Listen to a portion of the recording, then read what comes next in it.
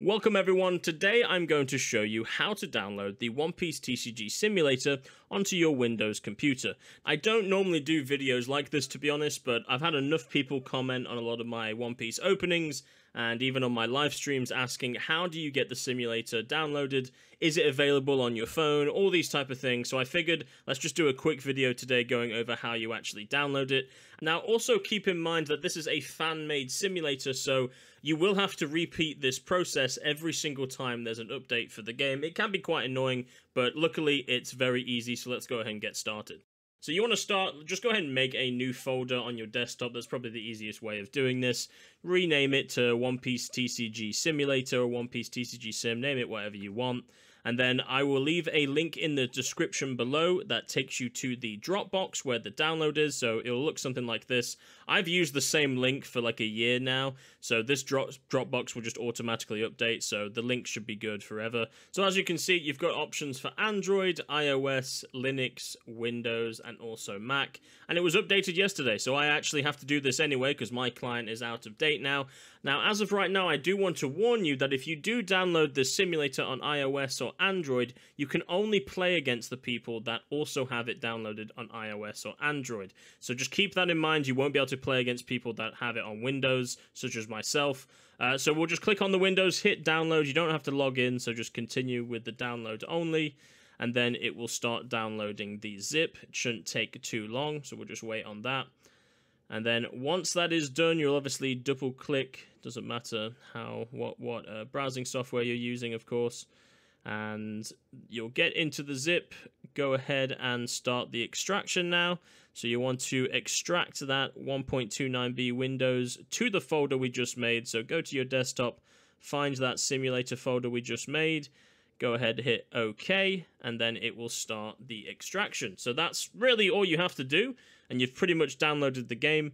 Um, so really the most important part is just that link. But like I say, just keep in mind that if you do download it on your phone, you can do, but you can't play against people that have it on Windows. It's a very important part because a lot of people want to play against me on stream and if they're on the phone, I we won't be able to join each other's game. So now that you're in the actual uh, the application here in the folder, you just want to double click a couple times.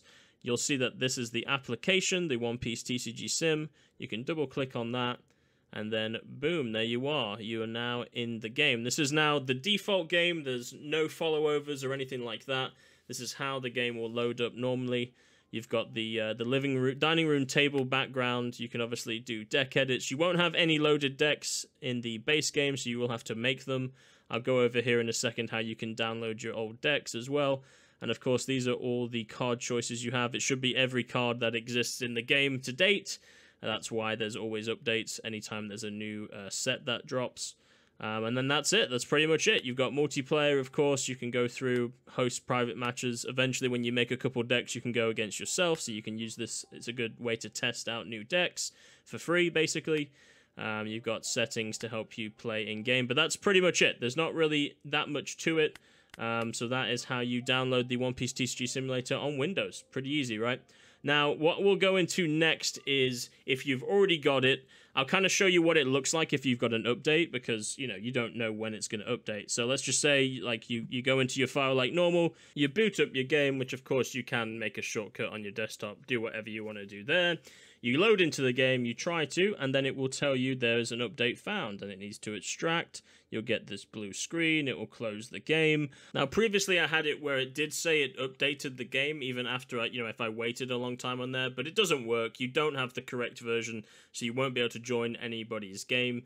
Uh, so just repeat the same process we just did. Download the new game, go to the Dropbox, and then there you go, you should be good to go. Now, you notice that in the new game when we downloaded it earlier and we uploaded it, we didn't have any decks loaded. So, of course, that's quite frustrating because you probably built a bunch of decks on your old client or on the old version and you want to keep them. So basically, just pull up your old folder that you had. There'll be an option for decks. It should have everything that you made on the previous file in there. Just basically copy and paste all of these to the new folder that says decks, and it should work very easily that way. So just copy all, go to the new folder and paste them into the same place in decks. So obviously that's just in build windows in decks. Uh, and then you should have all of your decks. The only other thing I customize in the game is my background. Obviously, I didn't really want that dining room table background, so you can just go to the OPTCG Sim data file, go to streaming assets, and then there's obviously an option that just says background there. All I did was get a picture that I enjoyed and pasted it into this basically into this folder and just renamed the picture background. That's all you have to do. So just basically copy that once you've done that, of course. Go to the new folder, go to streaming assets, delete the previous background, and then paste your background in, right? Now, you can do it with deck edit background. I don't mess around with that. You can do it with the card backs, the play mats. You can customize pretty much everything in this from doing the exact same thing I just did. I don't like to mess around with it too much though, because if you have a bad background, you might not be able to actually make out any of the words when you actually play the game, because uh, it will be kind of blocked out based on the color scheme. Uh, but once you've done that, you can just upload the game, you know, re reboot the game here, and we'll just double check, make sure everything works. So as you can see now, I've got my cool Zoro background. That was the photo that I chose instead of the dining room table, and I have all of my old decks as well. So that's pretty much it. Those are the only two things I do every time there's an update. I basically just transfer my background over, transfer all the decks that I built previously, and then um, I'm ready to go on the new the new version. And that's pretty much it. There isn't really too much else to it.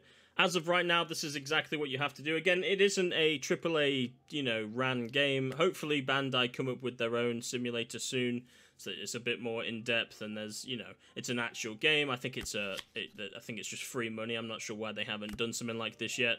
But this is a really great way of learning decks you know even learning how to play. When i do my tutorial i'm going to kind of do in-person examples but i'm also going to use this simulator as well to kind of show off some of the better combos and more of the more detailed stuff um, but that's pretty much it, right? So uh, once you've done that, you don't, you no longer need the old folder, right? The old client. You, I mean, once you've downloaded your decks and your background, you can just go ahead and get rid of that, uh, and then you're good with just that one file. So like I would just, just obviously just delete that old um, folder when you're done transferring everything over. So that's it. I hope this helped if you uh, struggled downloading the One Piece TCG Sim. And uh, like I say, make sure you like, comment, and subscribe if you enjoyed this. And if you want to learn how to play the One Piece TCG game itself, that is going to be my next video. So stick around for that. Otherwise, thank you so much for watching, and I will catch you in the next video.